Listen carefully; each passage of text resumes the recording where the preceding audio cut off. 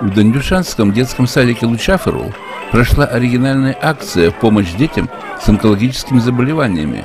Театрализованное представление по мотивам сказки «Терем-теремок». По согласованию с родительским комитетом на спектакль продавались билеты, как у взрослых, правда по 5 лея.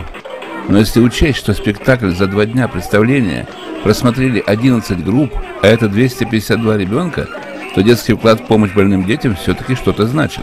А их в Молдове, по данным Республиканского онкологического центра, насчитывается 36 человек. Когда призыв общественной организации «Мы с тобой рядом» в рамках одноименного проекта стал известен в детском саде Лучаферу, воспитательница второй младшей группы Алунелул Лариса Пчела решила этот призыв о помощи больным детям воплотить в жизнь с обоюдной пользой. Не просто собрать деньги, принесенные из дома, а заработать их.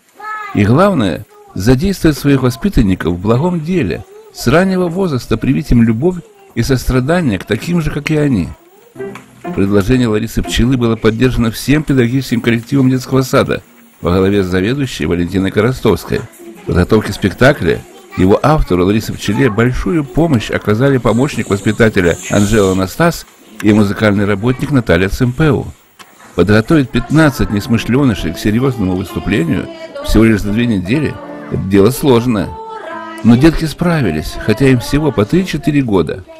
К собранным на спектакле деньгам свой вклад добавит и весь взрослый коллектив детского сада Лучаферл.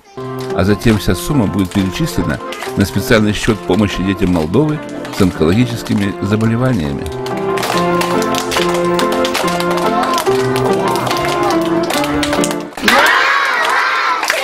Браво, браво, браво!